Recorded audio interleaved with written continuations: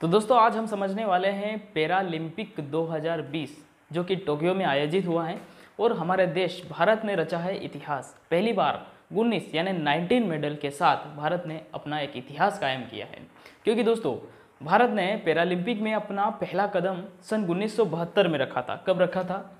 तो सन उन्नीस सौ बहत्तर में पैरालंपिक में पहली बार भारत ने अपना कदम रखा था और ओलंपिक गेम जो है हर चार वर्ष में होते हैं और ये पिछली बार मैं बता चुका। पिछली बार हमने टोक्यो ओलंपिक की बात की थी और अब की बार हम पैरा ओलंपिक की बात कर रहे हैं, ठीक है? और आपको पता होगा कि ओलंपिक जो है हर चार वर्ष में होता है तो सन उन्नीस सौ बहत्तर से 2016 तक, यानी कि टोटल 11 मैच भारत खेला था, ठीक है? इसमें से केवल 12 ही मेडल भारत के पास आए थे। ठीक है? लेकिन अब की बार इतिहास रचा है, टोटल 19 मेडल के साथ भारत आगे। ठीक है? और अब देखते हैं 2016 में जो भारत की रैंक थी, वो कौन सी थी? तरालीसवीं रैंक थी। और अब की बार है, चौबीसवीं रैंक ठीक है? तो दोस्तों, यहाँ पे मैं उन खिलाड़ियों के नाम मैंने मेंशन किए हैं, जिन्होंने मेडल जीते हैं।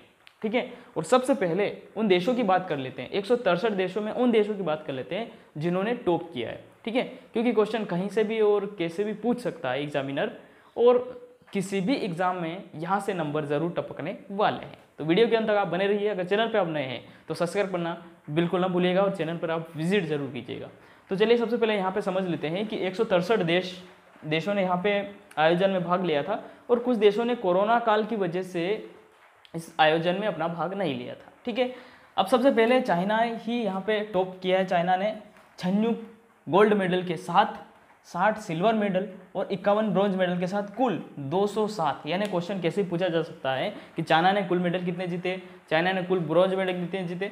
तो हमें हर पहलू से ध्यान में रख के हमें स्टडी करना है, पढ़ना है, समझना है। ठीक है?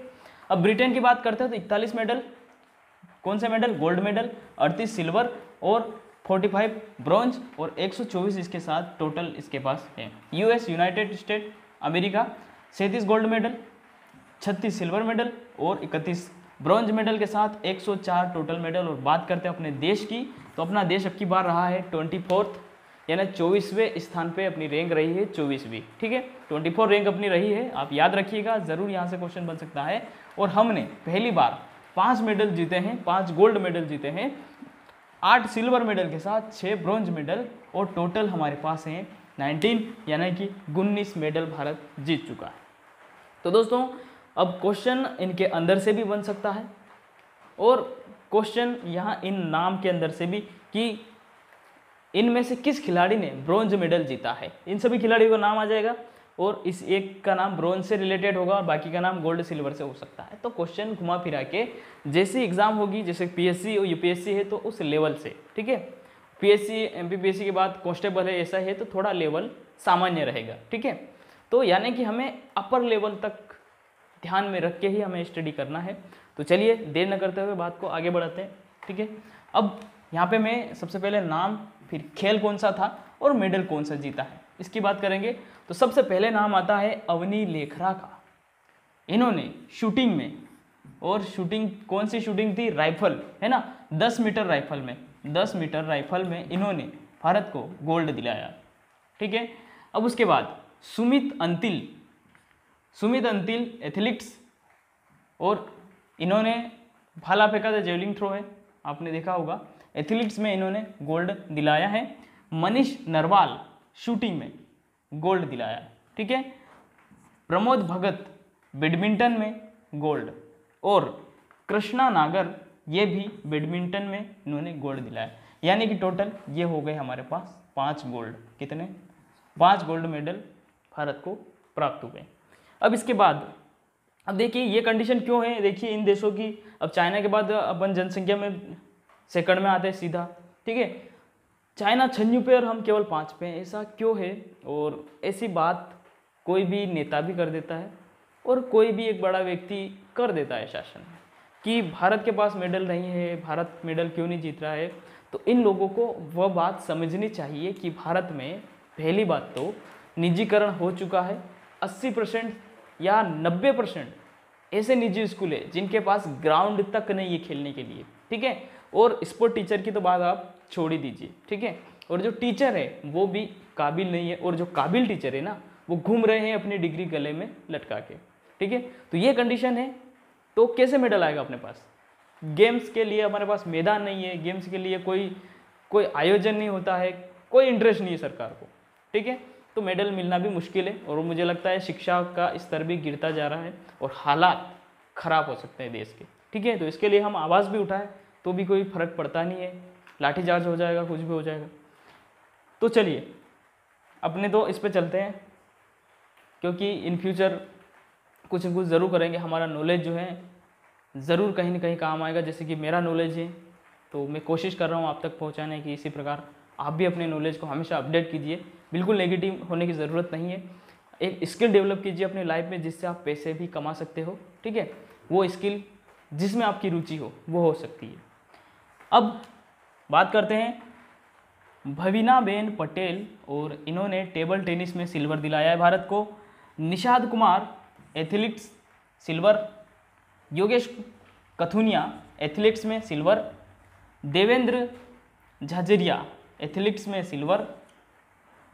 और है मरियप्पन थंगावेल, थंगावेलू, एथलीट्स में सिल्वर। उसके बाद प्रवीण कुमार, एथलीट्स में सिल्वर। उसके बाद सिंहराज, अधाना, शूटिंग में सिल्वर। उसके बाद सुहास, यतिराज, बैडमिंटन में सिल्वर। उसके बाद सुंदर गुर्जर, एथलीट्स में ब्रॉन्ज मेडल। यानी ये हमारे पास हो गए हैं चार और चार, ये हो गए हैं आठ हमारे पास सिल्वर। ठीक है? उसके बाद ब्रॉन्ज मेडल की बात करते हैं तो सुंदर गुर्जर एथलीट्स में। अब अगर एग्जामिनर का दिमाग घूम गया उसका किसी से घर में बीवी से लड़ाई वड़े हो गए और उस समय उसने अगर पेपर बनाया तो वो ऐसा भी पूछ सकता है कि कौन से गेम में सबसे ज़्यादा मेडल भारत ने पाए हैं। तो यहाँ पे सबसे ज़्यादा नाम मुझे दिख रहा है एथलीट्स का। एथलीट्स का नाम बहुत ज़्यादा है, ठीक है? एथलीट्स का नाम ज़्यादा आ रहा है। तो एथलीट्स में जो मेडल है, वो सबसे ज़्यादा भारत को प्राप्त हो गई, ठीक है? सिंहराज, अधाना, शूटिंग में ब्रॉन्ज मेडल। ठीक है? दो ब्रॉन्ज हो गए और चार ब्रॉन्ज ये रहे, यानी टोटल हो गए छः ब्रॉन्ज। ठीक है? इसमें शरद कुमार, एथलीट्स में ब्रॉन्ज, अवनी लेखरा। अब अवनी लेखरा का नाम यहाँ पे भी है और यहाँ पे भी है। तो यहाँ पे 10 मीटर था और यहाँ पे 50 मीटर। 50 मीटर में और राइफल शूटर है। ठीक है? एक होता पिस्टन शूटर और यह है राइफल शूटर। उसके बाद है Arvind Singh, archery, bronze medal और मनोज सरकार बैडमिंटन में ब्रॉन्ज मेडल। ये हो चुके टोटल 19 मेडल।